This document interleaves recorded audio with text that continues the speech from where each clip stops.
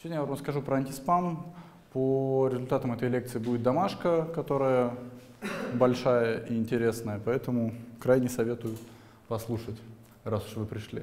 Вначале обсудим актуальность этой проблемы, где есть антиспам, кому он нужен, что зачем. Потом, как он воздействует на поисковики и как мы им противодействуем, как анализировать спам по контенту страницы, как выделять сами спам-сайты, ну и если останется время, обсудим антифрод и вообще спам в других приложениях, не только в поиске. Почему это актуально? Потому что ну, спам в поисковиках вы, наверное, тоже встречали, раньше его было еще больше. Спам скорее сейчас более актуален, это соцсети, это всякие там ВКонтакты, Одноклассники, Вайберы, Инстаграмы, где на тебя пытаются подписаться магазины и другие странные непонятные действия. Ну и на самом деле любые сайты, где пользователи могут что-то писать, то есть тот же кинопоиск, на который странные товарищи пишут странные отзывы, это на самом деле спам, потому что он не несет полезной информации, а мешает алгоритмам того же кинопоиска ставить нормальные рейтинги, а нам ходить на нормальные фильмы. Почему это актуально? Потому что на самом деле тут порядка 30% э, всего рынка рекламы это интернет. То есть он уже больше печатных СМИ. Вот в суммарном эквиваленте на 2015 год он оценивался в 60 миллиардов рублей. И основная часть этого рынка — это контекстная реклама. То есть та реклама, которая вылезает в поиске по запросу. Вы что-то поискали, и теперь вечно за вами это будет вылезать. И плюс, когда вы задали запрос, вот сверху рекламные посты — это есть контекстная реклама. Никто не хочет платить, чтобы туда вставать, все хотят занять первые позиции на халяву. Соответственно, Медийная реклама это вот на самом деле контекстно, это вот когда вы задали запрос и сверху вам вылезли э, некоторые результаты, которые релевантны вашу, за, вашему запросу, ну немножко. А медийная это как раз вот все остальное, все остальные баннеры, которые вешаются на сайтах. Просто есть такая вещь, как ретаргетинг, это когда вас нашли по контекстной, а потом бесконечно преследуют. Это небольшая специфика, но в целом в медийке может крутиться все, что угодно, и вполне, э, ну то есть Раньше это было сильно чаще, когда о пользователях было меньше инфы, что вам крутили просто что-нибудь, что надо продать, потому что они не знали ваших запросов. Сейчас все все знают, поэтому контекстная реклама плавно перекочевывает за вами по всем сайтам, где вы гуляете. Но все равно она является медийкой. И основной трафик, на самом деле, сайты собирают с поисковиков. Соцсети сейчас начинают набирать обороты, но все равно они даже не, не близко. Поэтому хочешь получить трафик, залезай в поисковик. Вот еще один пример. Есть такой подход, как iTracking, когда смотрят тепловые карты того, куда смотрел человек. И человек при анализе выдачи смотрит только на первые несколько результатов. То есть, если вы стоите на пятой позиции, вас не увидят, в общем-то, бесполезно. Сделали сайт, а он никому не нужен, его никто не видит. Поэтому все хотят наверх, соответственно, простой способ. Купили, купили контекстную рекламу, встали в самый верх, шикарно получили трафик. Но за это надо платить денежку, все хотят на халяву. Поэтому давайте-ка наш сайт поднимем как-нибудь на первую позицию и не будем заносить деньги поисковику. Все равно их придется кому-то занести, но не поисковику. На самом деле надо заметить, что вот э, э, такой паттерн просмотра выдачи специфичен для стран, где поиск работает хорошо. Для примера, во Вьетнаме глубина просмотра поисковой выдачи 10 страниц. То есть вы себе представляете, человек, когда ищет, он пролистывает 10 страниц в надежде найти хоть что-то релевантное запросу. Это было связано с тем, что, например, у Гугла там долгое, не, долгое время не было конкуренции, а в вьетнамском языке там э, ты пишешь как бы вот, в общем, там надо хитро разбивать на слоги слова. То есть там пишутся слоги, а ты должен сам их объединить э, в слова. Соответственно, у Гугла не было конкурентов, им не было смысла заморачиваться. Работало, как работает на европейской модели, и ладно. Потом туда пришло несколько российских поисковиков, ну, не поисковик, ну, ребят из России, которые делали, стали делать свои поисковики. И тут же глубина просмотра у Гугла там через полгода-год упала до первой страницы. То есть как бы качество поиска зависит от конкуренции. В России это все хотят найти результаты на первых трех позициях. Если дальше, значит что-то не так. Соответственно, почему, это, почему все хотят на первой позиции? Потому что это экономически выгодно. Больше пользователей, больше денег. Либо через рекламу, либо через конверсию в покупки. Поэтому все хотят туда залезть. То есть вот пример, в чем проблема. Вот по запросу купить телевизор вылезает шкаф-купе. Потому что люди хотят просто трафика на свой сайт. Вдруг ты искал телевизор, зайдешь, кликнешь и купишь шкаф-купе. То есть, может быть, конверсия низкая, там один из тысячи купит, но это все равно кто-то купит. Халява. А для поиска это на самом деле проблема в том, что куча мусорного контента, потому что, как я расскажу дальше, есть различные способы попадания в топ выдачи, и зачастую этот контент не несет пользы ни для поиска, ни, ни для движка поиска, ни для пользователей поиска. Что мы хотим получить? Мы хотим, чтобы меньше спама попадало в индекс, потому что размер индекса ограничен. То есть у вас, вам надо набрать в индекс максимально релевантные документы. То есть на самом деле от того, от полноты индекса очень сильно зависит качество. Это один из самых халявных способов. Ну вот как в машинном обучении. Чем больше обучающее множество, тем лучше качество. Можно там тюнить алгоритмы, а можно подлить в два раза больше обучающее множество. Тут также. Чем больше индекс, тем лучше. Это халявный способ повысить качество. Но он у нас ограничен чем-то, и нам надо, чтобы вот эта выборка была максимально качественной. И, соответственно, уменьшаем в индексе, уменьшается количество спамов в выдаче, что, в общем-то, улучшает тоже и качество поиска, и удовлетворенность пользователей. В среднем где-то 10% поискового индекса — это спам. То есть, понятное дело, что если мы их заменим на 10% хорошего, на 10% качество не вырастет, но на пару процентов оно вырастет, а это очень дорогого стоит. Куда на самом деле бьет спам? То есть вот цепочка работы поиска, сильно утрированная. На самом деле спам, конечно же, бьет по индексу, тем, что занимает там место. Спам а, бьет по сечерам, которые занимаются ранжированием, потому что сечерам приходится перемалывать больше документов, а тем самым они и замедляются, и ухудшается качество выдачи. И они, спам также влияет на анализ запросов, потому что спамят не только документы, но и опоследованно это влияет и на запросы. А если глубже подумать, то на самом деле спам бьет и по краулеру, потому что он забивает очередь обкачки. Если мы не будем качать спам-сайты, мы быстрее будем обкачивать хорошие сайты. У нас повысится актуальность. А для спам-сайтов все равно надо вызывать классификаторы спама, классификаторы порнографии, то есть тратить все равно некоторые ресурсы ЦПУ. То есть, а я вам говорю, что мы в индекс кладем там 10%, а в реальности в, в вебе их там 20-30%. То есть 20-30% своих ресурсов мы тратим впустую. Это дорого. Наверное, единственная часть поиска, которая не сдевает спам, это фронтенд. Вот, вот ему плевать.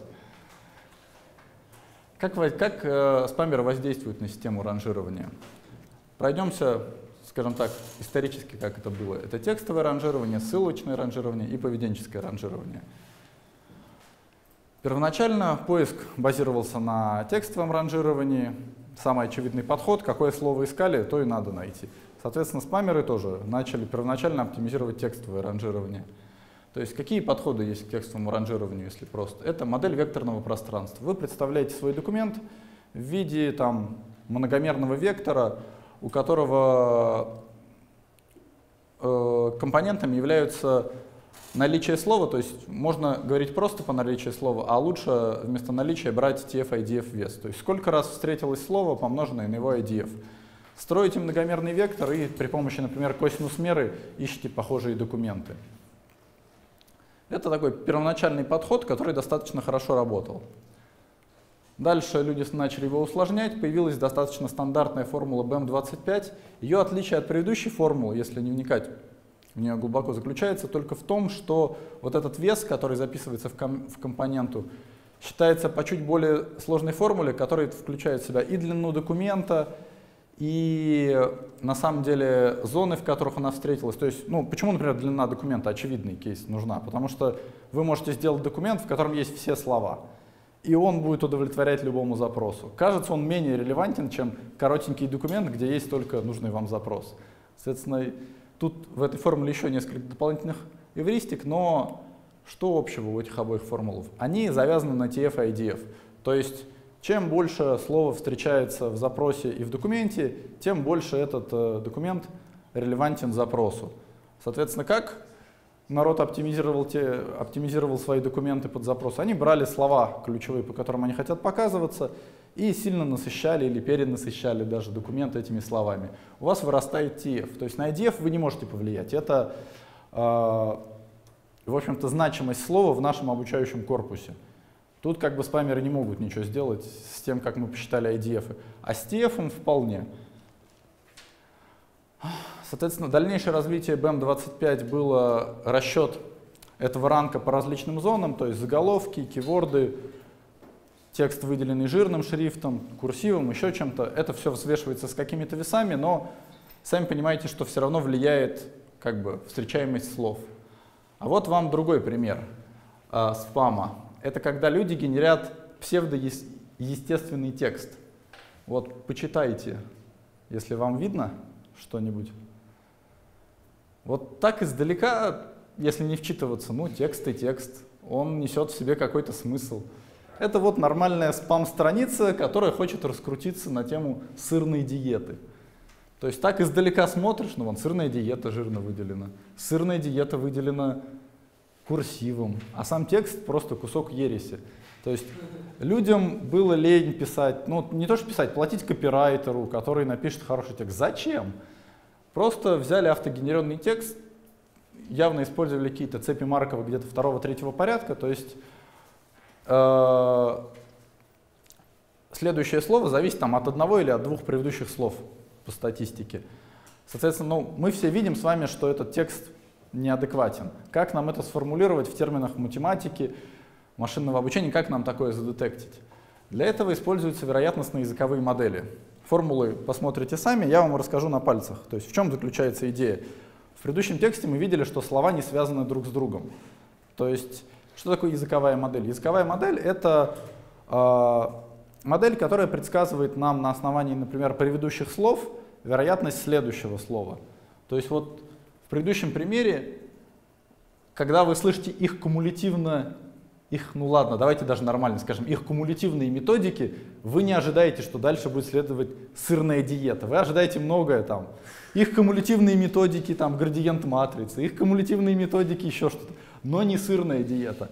Вот а различные модели вам это и должны выдавать. То есть вы строите на основании, там, например, русского языка модель, которая предсказывает слово либо по контексту, либо по анализу всего документа. А, плюс еще языковые модели полезны, например, чтобы понять, какой это, например, русский язык или украинский. То есть они очень похожи по написанию, но если вы проанализируете вероятности, вы поймете, что то есть так чаще говорят по-украински, так чаще говорят по-русски, так чаще говорят по-белорусски. Ну или тут, вот в нашем случае, так ча чаще пишут спамеры. То есть можно подойти с одного конца, построить модели по всем языкам, которые есть в вашем поиске, и сравнить, этот текст вообще хоть одному соответствует, либо построить там еще четвертую, там, пятую модель, которая будет язык спамеров, и вы посмотрите, о, это больше всего соответствует языку спамеров. То есть вот конкретно в предыдущем кейсе это такой достаточно стандартный подход, когда генерят текст, а много существительных заменяют на то, что надо раскрутить. То есть в данном случае сырная диета, можно вписать iPhone, можно вписать телевизор, все что угодно. И человек, возможно, перейдет, кликнет дальше по какой-то ссылке. Вы вот таких страниц можете нагенерить просто тонну, потому что это генерится автоматически. А нам это надо все заиндексировать. А нам не хочется. И нам это, в общем-то, не надо. Ну и дальнейший подход к решению — это строить какой-то сложный классификатор. Также для выделения спама по контексту это либо нахождение дубликатов, потому что зачастую вот эти товарищи, которые генерят автогенеренный текст, вы берете там весь ваш индекс интернета и смотрите, они там на 100 доменах нагенерили одного и того же. Это тоже негативно говорит о качестве. Либо вот выявление спама через сравнение языковых моделей, это то, что я и описывал. Э, вы считаете расстояние между э, двумя моделями, то есть, предположим, это модель русского языка и модель э, спама, и видите, что это скорее спам. Какие в заключение есть методы воздействия текстовые на поисковый механизм? Это перенасыщение заголовков ключевыми словами. Многие из вас, наверное, видели в интернет-магазинах, это очень часто встречается, когда в заголовке написан iPhone всеми возможными способами, и iPhone, и iPhone, и по-английски, и транслитом, и как только угодно. Перенасыщение текстов ключевыми словами — это вот как сырная диета, но сырная диета — это прям совсем трэш. А бывает, когда, ну просто вам вы читаете какой-нибудь, не знаю, статью в журнале, а там вам постоянно пишут Ауди, Ауди, Ауди, Ауди. Просто везде слово машины поменяли на Ауди. Вы такого, нормально. Все про Ауди. Хотя можно было, хотя с точки зрения там, литературного языка надо все-таки синонимы применять, еще что-то. Это оптимизация, ну вот, как я и сказал, текстов под одно ключевое слово, когда им забивают все. Оптимизация анкоров ключевых ссылок. Что это? Анкоры — это текст, который приженивается к ссылке. Это на самом деле тоже очень часто используется, и во многом это связано со ссылочным спамом, к которому сейчас дальше перейдем. Ну, это на самом деле тут все перечислены способы. Какое дальнейшее развитие поиска было? То есть вначале все искали по текстам, было прикольно, пока было мало документов, и никто не занимался спамом и ничем. Дальше возник вопрос, а как нам вот среди тысячи телевизоров сайтов про телевизор выбрать лучший. То есть пока поведенческого нет, ничего нет. Все вы, наверное, слышали про алгоритм PageRank, про то, как отчасти начинался Google, что вот они его придумали и при помощи него ранжировали документы. Соответственно, дальше спамеры ополчились именно на эти алгоритмы. Если вы поищете в поиске PageRank, вы не найдете нормального его определения, зато найдете кучу статей, как его оптимизировать, что занесите нам денег, мы все сделаем как его кто использует. В чем его смысл? Давайте лучше перейдем сразу к идее. То есть идея PageRank, когда он задумывался, заключалась в том, что вот у вас, да, есть тысяча документов про телевизоры, вам надо как-то понять, какие из них хорошие. А, соответственно, идея заключалась, что если на сайт многие ссылаются, значит он лучше, чем если на сайт там мало кто ссылается.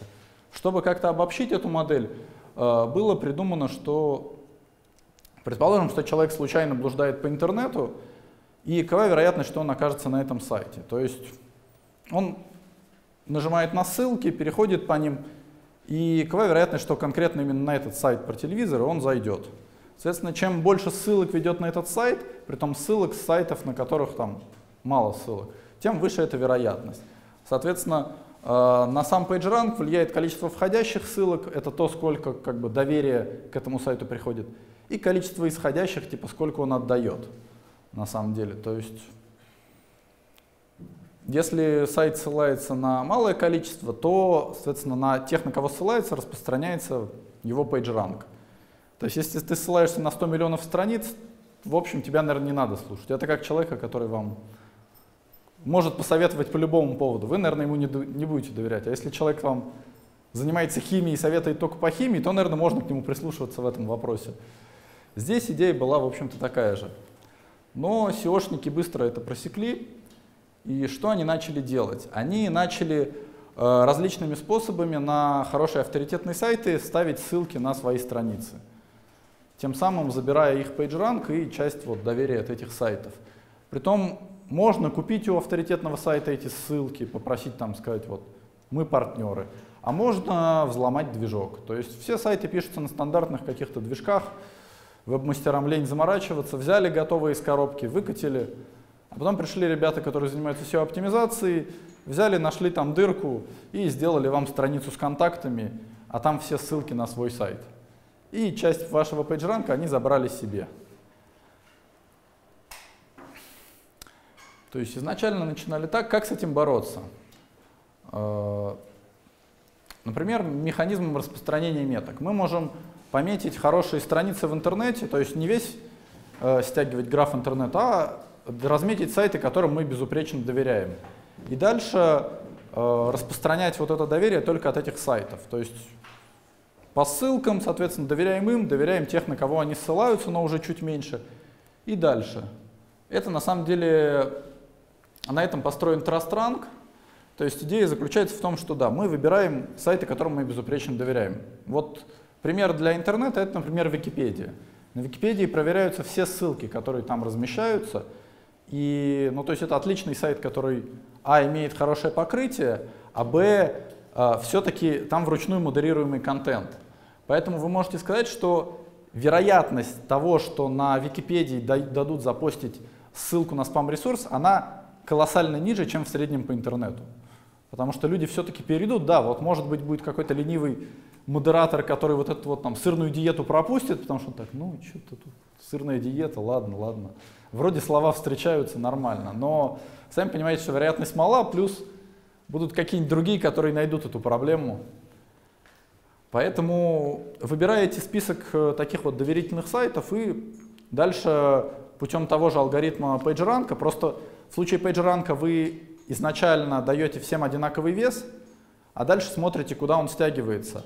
В случае Trust вы доверяете изначально только нескольким сайтам, делаете итерации вот этих вот случайных переходов и смотрите, где какой ранг образуется.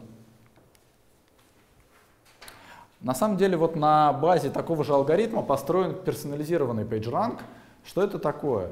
Это подход, когда также мы, не, мы доверяем не всем страницам в интернете, а только тем, что нравились конкретно вам. То есть вы, например, ходили на определенные сайты, не знаю, там, коммерсант, ведомости, еще что-то. Соответственно, для вас PageRank будет рассчитываться, исходя из того, что только эти сайты авторитетны, и авторитетны только те, на кого они ссылаются. И дальше в ранжировании это тоже можно будет учитывать. То есть, я не знаю, коммерсант ссылается на сайт, продающий телевизоры, значит, персонально для вас это более релевантный сайт. Неважно, что может быть в общем рейтинге интернета, он не важен.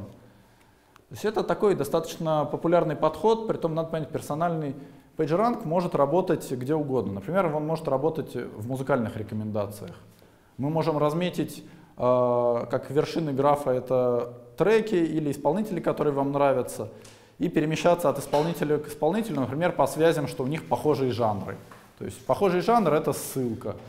Не знаю, играли в одной группе — это ссылка. Соответственно, мы те группы, которые вам понравились, разметили, сделали несколько итераций и нашли все группы там в этом же жанре, с этими же исполнителями. Какие признаки мы можем вынести из э, ссылочного спама и антиспама? То есть как бы как нам, ну так, на вскидку отличить спам-сайт от не спам-сайта? Это степень ссылочности, то есть количество входящих и выходящих ссылок. То есть, например, там те же самые линкофермы, они свои ссылки продают всем, поэтому там море исходящих ссылок, а, ну, сами понимаете, вряд ли там из нормальной статьи будет тысяча ссылок. Это что-то нездоровое. И входящих ссылок тоже вряд ли у них будет тысяча, потому что, ну, это как бы тоже что-то ненормальное. Такие параметры можно извлечь. Понятное дело, извлекается э, сам PageRank, э, PageRank там, деленный на количество входящих, исходящих, дисперсия PageRank, соответственно, различные траст-ранки. А, в чем проблема ссылочных факторов будет для вас? В том, что для их расчета необходим цельный граф интернета или очень большая его часть. У вас в домашнем задании будет небольшая подвыборка, поэтому сами, например, PageRank для вас вряд ли что-то скажут, ну потому что вы их не сможете честно посчитать. Хотя вот ссылочные факторы вполне пригодятся вам. А, ну, опять же, механизм распри... Э, распространения меток можно и на спам аппроксимировать. То есть вы нашли э, страницы, в которых вы идеально уверены, что они спам, такой в некотором роде антитраст ранг. Вы знаете, что вот это вот спам, смотрите, на кого они ссылаются, и с большой долей вероятности помечаете их тоже как спам. Соответственно, просто если, все, если на этот сайт ссылаются только спам-сайты, ну, значит он спамище. Все достаточно логично. Ну, самый сильный метод, ну ладно, я спойлерю, не самый сильный. А, третий метод, который появился в дальнейшем в развитии интернета, то есть PageRank хорошо, но когда стало много пользователей, зачем нам считать что-то по ссылкам? Вот конкретно с телевизорами запрос задается там 60 тысяч там, раз в сутки, в неделю в поиск. Мы можем просто посмотреть, на что кликают больше, ну, учесть еще там время, проведенное на странице, еще какие-то поведенческие факторы и понять, что надо показывать. Не надо никаких пейджранков. Это обратная связь от пользователя, самый лучший сигнал, который может быть. То есть клики на количество показов. Соответственно, как спамеры воздействуют? Ну, они задают фейковые запросы, создают фейковые клики. Соответственно, наша сумма превращается там в сумму кликов настоящих плюс фейковые на показы настоящие плюс фейковые. Если вынести, соответственно, настоящие клики и показы, то мы получаем некоторую формулу, в которой а, важно понимать что? Что если у нас фейковых кликов 0, мы сходимся к идеальной формуле. Чтобы повлиять на наш реальный CTR, надо сгенерировать много фейковых кликов, но зачастую количество клик... пропорция фейковых кликов пропорционально там, отношению фейковых показов к реальным.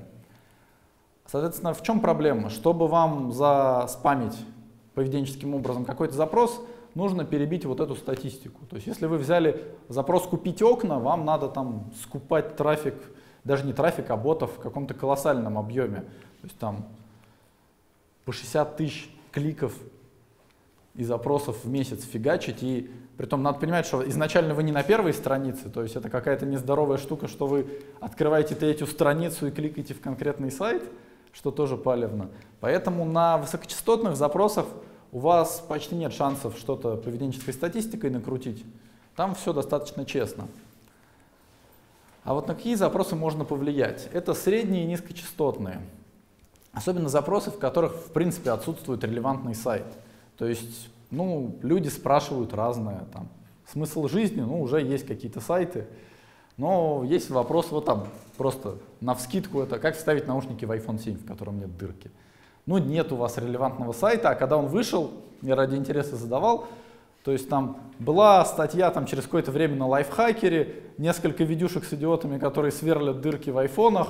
Ну, как бы, то есть релевантного сайта нет, а это значит, что вы можете создать, то есть если вы создадите сайт, который хоть немного будет подходить, человек увидит, ну то есть, ну как вы сами работаете с поиском? Вы задали какой-то запрос, увидели, что в сниппете написано то, что вы искали, вы кликнули в него. То есть вы делаете сайт, описываете, ну, я не знаю, что, никак, но пишете там подробный, хороший текст, люди будут кликать, это все равно какой-никакой ответ.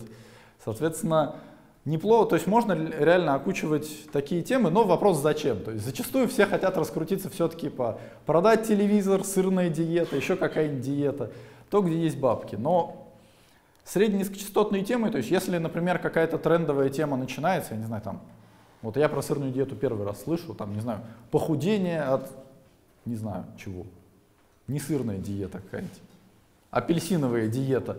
Тренд пошел, страниц мало, вы влезли на волне этого тренда, успели раскрутиться, все, дальше вы заняли топы, как бы вы повлияли на поведение, то есть тренд пошел, вы появились, вас кликают, все, вы себе накрутили хорошую статистику. Либо что еще можно сделать, это прокачивать трендовые запросы заранее на самом деле. То есть вы загодя, например, вот так было с физруком второй сезон, были сайты, которые раскрутились за год до его выхода. То есть люди спрашивают, когда выйдет физрук второй сезон. Там вылезает сайт, на котором написано так-дата, все, там больше ничего нет. Не видеть, точнее даже не так. Они засеошили свой сайт под все запросы. Физрук второй сезон, первая серия, вторая серия, третья, там еще что-то. Они, но на сайте был реально ответ на вопрос, что типа первая серия не вышла. Ну не вышло, так не вышло. Люди кликали, поведение накапливалось, мы видели, что ну как бы этот сайт это лучшее из всего, что у нас есть. И к моменту, когда физрук второй сезон вышел, эти запросы немножко поменяли свой контекст, он все равно поднимался вверх, и дальше он, он был не в топе, но он скатился там где-то на третью-четвертую позицию, что дорогого стоит, потому что это был там, ну, в момент выхода сериала огромный э, поток запросов, то есть они просто, да, там, стырили у кого-то видео, обвешались рекламой, получили свой трафик и вот засеошили, в общем-то, поведением во многом. Поэтому вот есть такие способы выползать. Ну и на самом деле как можно, как можно повлиять на, на поведение, как люди влияют. Они там делают интернет-магазин, приходят друзьям и говорят, поищите мой магазин, покликайте. Ищут, кликают. Например, таким образом можно, если есть одноименный магазин, вы можете закосить под него, попросить друзей поискать. Если этот магазин ищет 10 человек в сутки, 5 ваших друзей — это половина статистики. И вы можете спокойно перекосить всю поведенческую статистику с конкурента на себя. Это боты различные автоматически кликающие, но с ботами поисковики уже научились бороться, поэтому это не лучшая идея.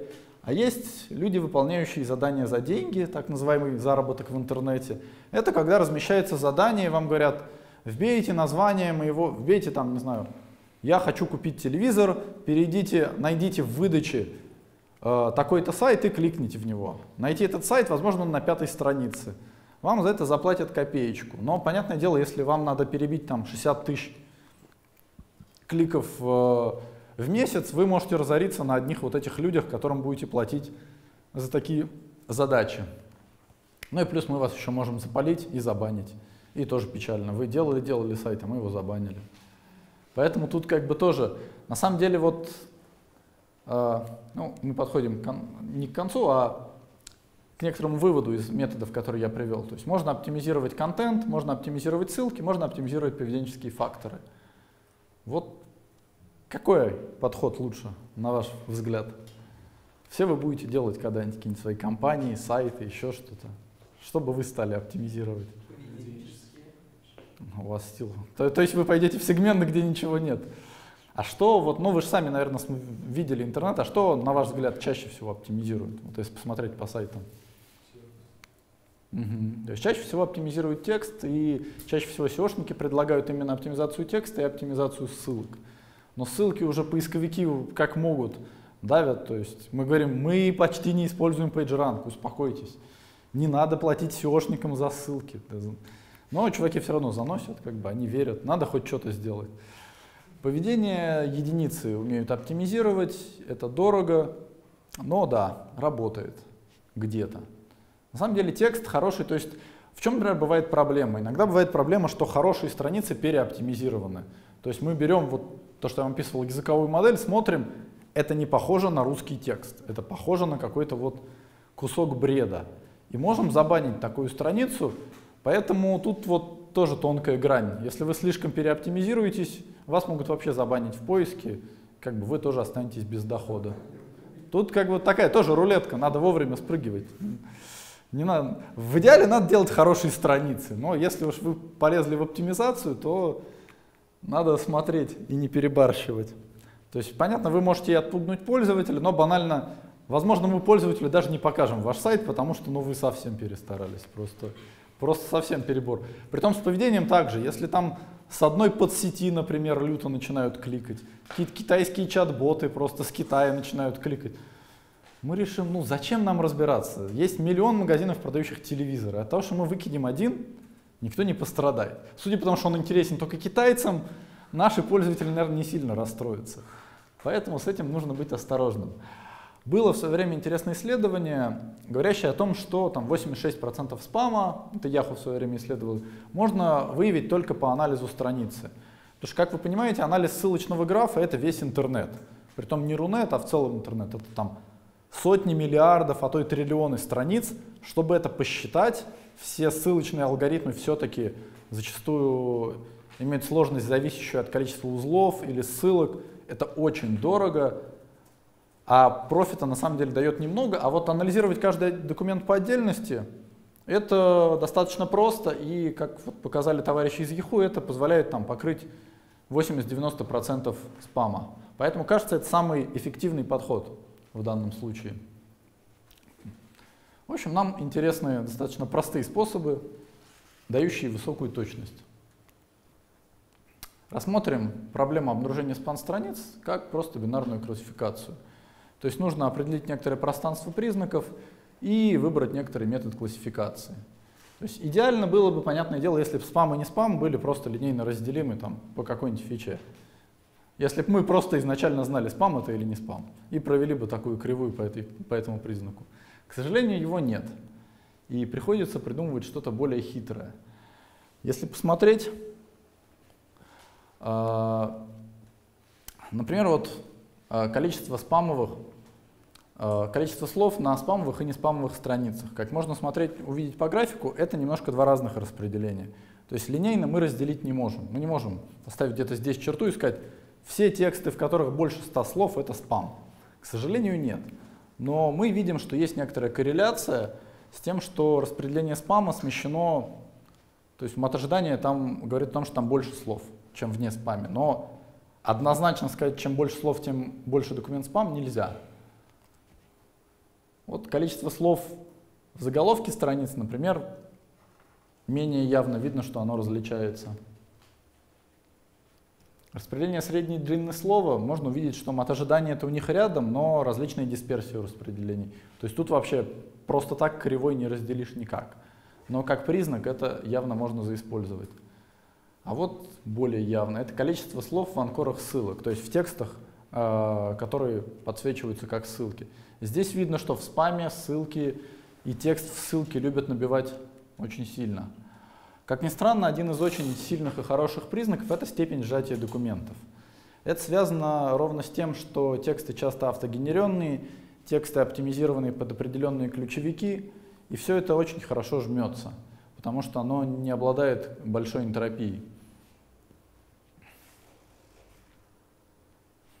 Что можно дополнительно увидеть, что все-таки э, спам не сильно отличается от не спама. То есть вот по этим графикам абсолютно непонятно, где провести кривую, чтобы отличить спам от не спама. Поэтому спамеры стараются мимикрировать под реальные страницы, потому что если вы делаете откровенный спам, он не, то есть мы его легко детектим, он не попадает в поиск, такой спамер остается без денег и не выживает. Выживают сильнейшие, а соответственно они составляют нам неплохую конкуренцию, им приходится быть похожими. То есть видите, может быть они отличаются по какому-то волшебному признаку, но мы его сходу не видим. То есть вот коэффициент сжатия, например, в свое время был тоже большим прорывом, потому что ну, абсолютно не очевидно, почему какой-то странный признак коэффициент сжатия легко отличает спам от не спам. Ну и понятно, что вот с коэффициентом, то есть со словами вы можете посчитать некоторую там медиану, что мы можем написать спам-текст не длиннее такого-то размера. Это легко. Как написать текст, обладающий заданным коэффициентом сжатия, это задача нетривиальная. И как бы Вряд ли кто-то будет так сильно ей заморачиваться. Написал, ну не получилось, так не получилось. Shit happens. Вот это а, распределение усредненного веса ключевых слов. Что такое вес? А, под весом здесь подразумевается IDF. Тоже хороший признак, который отличает спам от неспама. Здесь прям явно можно увидеть, что от ожидания расходятся.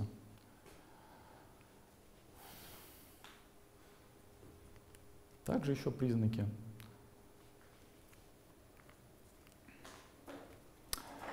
А, на основании вот некоторого набора признаков мы, например, строили сом-карты. Вам уже в курсе нейростей объясняли их принцип работы? Шикарно. То есть, как можно увидеть, если нанести эти признаки на спам-карту, то видно, что спам группируется в одном углу, не спам вокруг него. И это говорит о том, что эти признаки могут разделять спам от не спама какими-то нелинейными Э, методами, но разделяют. А соответственно мы сможем на этих признаках обучиться чему-то и построить хороший, хороший классификатор. В нашем случае изначально это был всего лишь двухслойная нейронка на вручную построенных фичах. И уже она выдавала скор 0.96. Вам в домашке надо будет выбить скор сильно больше. Ну не сильно больше, на пятерку как раз будет 0.96, но ваши коллеги из ИТМО выбили 0.97,5. И ваш коллега в прошлом году выбил похожий скор. То есть, как видно, уже по каким-то простейшим текстовым признакам мы можем получить хорошее качество. А какая у нас дальше возникает проблема? Как я вам говорил в начале, нам бы хорошо вообще спам-сайты не качать, потому что их 10% попадает в индекс, 30-40% в интернете. Это мы просто 40% своего железа своих там десятков, сотен серверов спускаем в никуда. А можно на эти деньги зарплаты поплатить, можно еще что-нибудь поделать. Поэтому хочется их находить и вообще не качать. Соответственно, ну, все легко. Если весь сайт состоит из спама, значит он спам. Если весь сайт состоит из хороших страниц, значит он не спам. Все было бы хорошо, но так бывает редко. Бывают хорошие сайты со спам-страницами. Ваш классификатор не идеален, тоже надо понимать. Бывают взломанные сайты, бывает переоптимизированный контент, когда ну, перестарались люди, ну, слишком много ключевиков набили. Бывают спам-сайты с полезными страницами, то есть, ну, с одной стороны спам, с другой стороны что-то нужное есть. Как бы откуда, вот, например, взломанные сайты, это то, что я вам говорил, это различные движки, на которых делают сайты, которые взламываются и туда добавляются различные спам-страницы.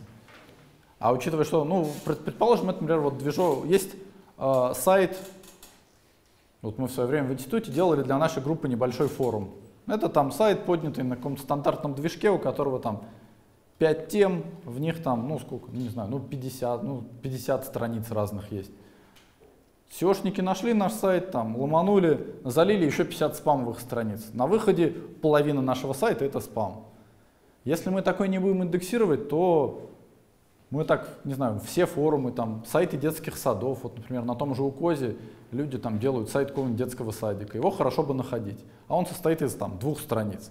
То есть две страницы хорошие, спамеры взломали, еще 50 плохих налили, и как бы все. И мы не находим сайты детских садов, форумов, всего чего угодно. То есть, к сожалению, очевидный подход больше 50% спам не позволяет нам хорошо отделить спам-сайты от не спам-сайтов.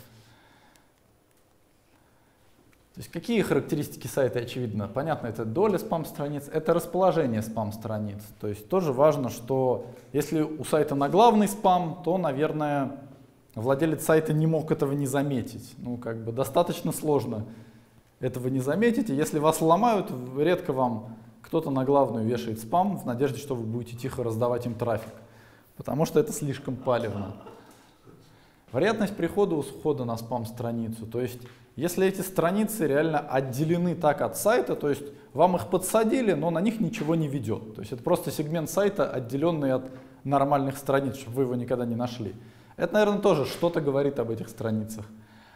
На какие страницы ведут входящие и исходящие ссылки? Что это значит? Ну, есть сайт вот вашего форума, там, ну вот, я там в МАИ учился, например, мы где-нибудь зарегистрировались, на сайте нашего факультета есть ссылка на наш форум.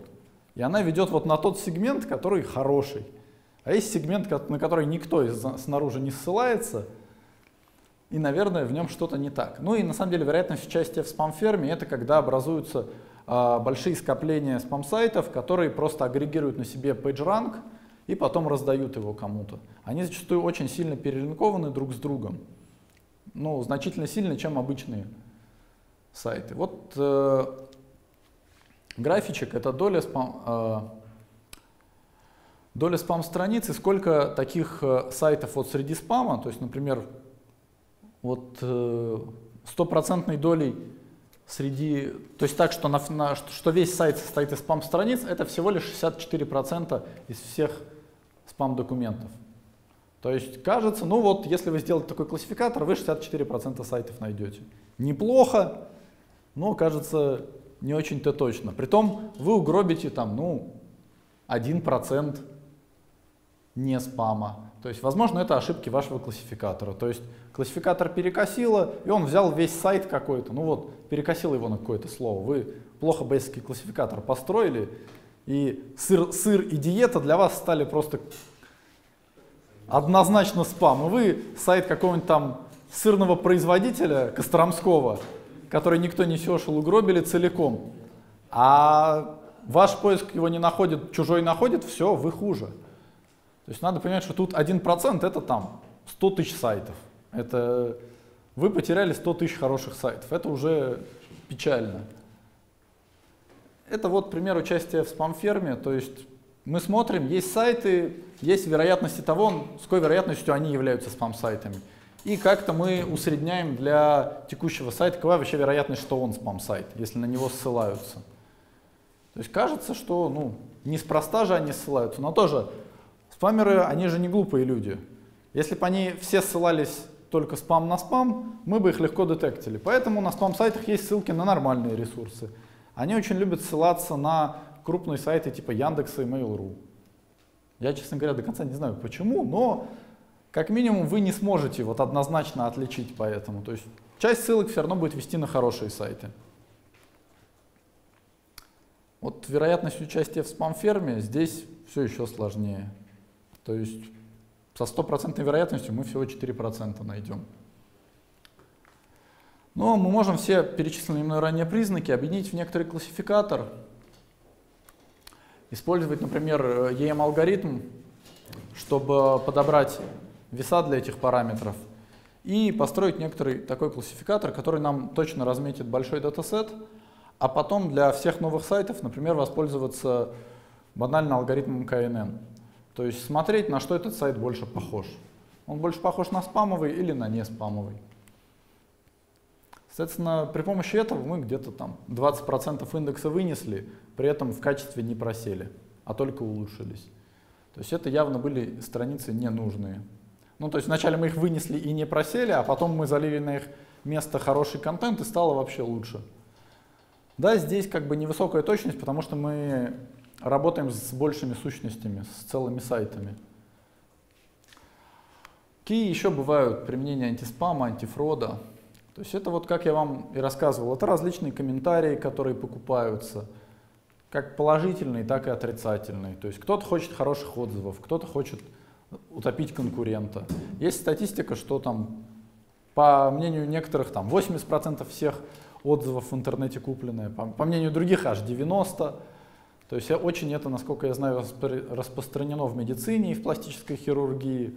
То есть они любят закупать себе отзывы. То есть с этим тоже как-то надо бороться. То есть если вы захотите сделать медицинский сайт, у вас эта проблема встанет в полный рост, потому что вы хотите выставлять реальные рейтинги, а тут начинается. Прибегают, комментируют. Вот сайты типа букинга. То есть с букингом проще. Вы просто верите только тем, кто занес денежку и съездил туда. А представьте, что любой может оставлять любые комментарии. Все приходят и начинают нахваливать свои квартиры, дома, все что угодно. То есть это тоже спам, и сами понимаете, что такие вещи могут встретиться в, абсолютно в любой отрасли. Это вот все для соцсетей, это рекламные сообщения, это странные добавления в друзья. То есть люди... Спамом тоже фейковое объявление можно считать. То есть, ну, в чем проблема? Вот фейковое объявление, если кто-то снимал квартиры. Для чего выставляют фейковые объявления по заниженной цене? Чтобы привлечь пользователей в свое риэлторское агентство. Ты откликаешься, приезжаешь, тебе говорят, ой, нет, вот эту квартиру продали, но мы вам найдем лучше. Занесите залог. То есть тоже спам, тоже надо как-то отличать. Как это делают э, различные такие платформы? Они смотрят, что, например, цена сильно ниже средней при характеристиках. То есть вы тоже обучаете некоторые классификаторы, которые говорят, что это ложные объявления. Ну, тоже вот Авито, например, и в целом всякие сайты объявлений борются с интим-услугами, что можно отчасти отнести к антипорну, но они борются с услугами, которые как бы запрещено размещать, когда их сайт используют не по назначению. Для банков актуальны там тоже, ну это антифрод уже, когда приходят по поддельным паспортам за кредитами. Есть вас тоже пытаются как-то обмануть и сломать вашу систему рабочую. То есть Ваша система выдает реальным людям кредиты под такие-то проценты, с такими-то рисками, а тут кто-то приходит, набирает по поддельным паспортам и ломает вам модель. То есть, ну как бы, эти люди точно не вернут. И, соответственно, вы потом останетесь в минусе. Это, вот, ну, это уже про фрод. Это спорные транзакции в банках. То есть тоже есть мошенники, с ними надо бороться. Это накликивание рекламы, то есть спам в виде скликивания рекламы конкурента. То есть вы же можете кликать в рекламу конкурента, с него будут сниматься деньги, и вы просто весь его бюджет скликаете. Он потратит деньги в никуда. То есть это, ну, это, это все уже фрод. То есть вот все, что связано с деньгами, это такой антифрод, отдельная история с своими проблемами, но тоже актуальная. Вот есть еще такие вещи, как накрутки фейковых пользователей. Достаточно интересная история была, что один из онлайн-кинотеатров российских – ну, как бы онлайн-кинотеатры чем меряются? Количеством просмотров, количеством пользователей. Они поставили iFrame с каким-то своим сериалом на, э, на сервис, который раздает файлы. Каждый раз, когда пользователь туда заходил, там где-то в невидимой части экрана запускался плеер. Они потом выпускали годовой отчет, что у них там просто колоссальный рост, миллионы пользователей, показывали график, что на них трафик идет, нагрузка. Эти пользователи даже не видели их ролика. То есть это такой тоже вид нагоняния трафика втихаря. Притом с этим приходилось бороться уже аналитикам, которые вы как бы оцениваете компанию, они вам врут. То есть в основном вот, ну, фрод на самом деле даже более сложная проблема, потому что как бороться с накрутками поведения? Вам надо как-то собрать обучающее множество. А как вы можете, вы же не можете посмотреть в глаза человеку, который кликал на этот документ и спросить, ты, тебе это правда надо? Или тебе заплатили? То есть как вы можете, например, купить пользователей там, накупили вот русскоязычных пользователей, которые работают за деньги, они вам что-то накликали, вы такие, во, сейчас мы научимся детектить таких пользователей. Научились, потом пришли китайские пользователи, которые действуют по другим паттернам, и они все еще работают. Поэтому, как ни странно, здесь вот в борьбе с мошенниками работают достаточно стандартные подходы, и это распределение по айпишникам, потому что большая часть всех этих ботоводов, они все равно Как бы, но они себе не могут позволить очень большие сети, много айпишников, хотя всякие Amazon Cloud и тому подобные вещи сильно усложняют жизнь. То есть вы, например, не можете забанить весь пул айпишников, потому что вы забаните какие-то официальные IP, еще что-то, живущие на этих айпишниках. Но вы можете, например, там как-то их фильтровать из статистики. Распределение по времени, то есть как бы, вот как, например, боты чаще всего палятся. Э, трафик, который идет там с, от пользователей на поиск, на любой сайт, он имеет э, дневные тренды. То есть по ночам люди вряд ли сидят в интернете. Как делают ботов изначально люди? Хреначил в кронтап, раз в минуту кликай. Ты смотришь так, с этого айпишника у тебя просто вот полка. Вот в любую минуту смотришь одинаковое количество кликов.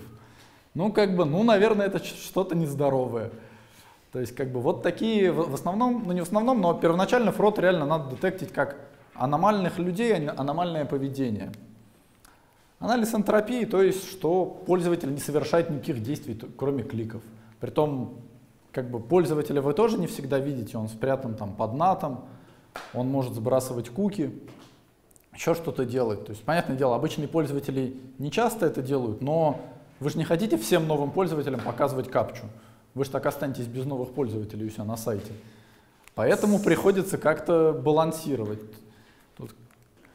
Ну и время сессии, вот ну, различные статистические подходы. То есть здесь сложность, вот основная в антифроде, это набрать обучающее множество.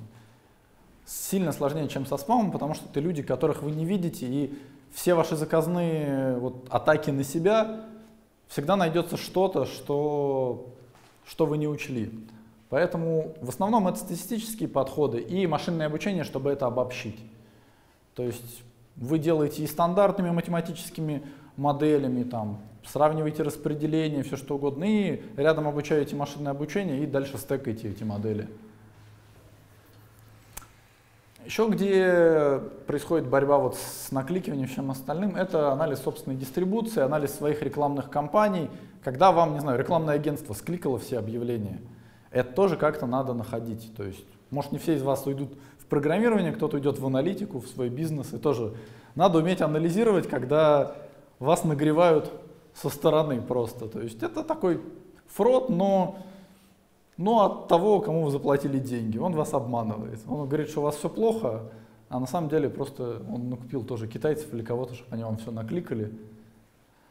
Ну, вот сервисы такси тоже, казалось бы, подвержены фроду. Есть статьи там, как, как э, водители обманывают клиентов, как клиенты катаются по баллам, еще что-то делают и обманывают. И, то есть это все тоже фрод, в некотором роде спам, потому что это, это тоже детектится нетипичным поведением. То есть вы можете найти, что водители делают какие-то нетипичные вещи. То есть мы предполагаем, что большинство не ворует, большинство не обманывает. То есть вы смотрите, в среднем пользователь выходит в такси через 3 минуты, а тут есть водители, которые начинают заказ через секунду после того, как приехали. Наверное, что-то с ними не так. И надо как-то конкретнее с этим разбираться.